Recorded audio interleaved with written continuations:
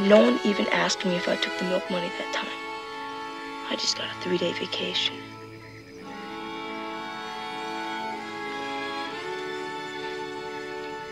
Did you take it?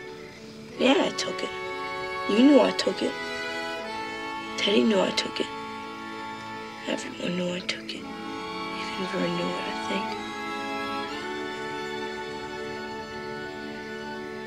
think. Maybe I was sorry and I tried to give it back. Tried to give it back? Maybe. Just maybe.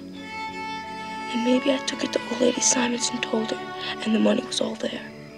But I still got a three-day vacation because it never showed up. And maybe the next week, old lady Simons had this brand new suit on when she came to school. Yeah, yeah, it was brown and had dots on it. Yeah. So let's just say that I stole the milk money, but old lady Simon stole it back from me. Just suppose that I told this story. Me, Chris Chambers, kid brother to Eyeball Chambers. Do you think that anyone would have believed it? Oh. And do you think that that bitch would have dared try something like that if it'd been one of those douchebags from up on the view if they had taken the money?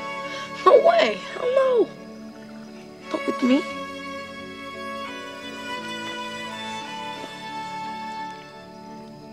I'm sure she had her eye on that skirt for a long time. Anyway, she saw her chance and she took it. I was the stupid one for even trying to give it back.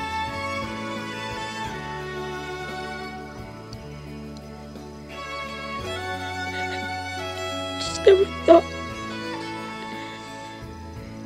I never thought the teacher. Oh, fuck anyway.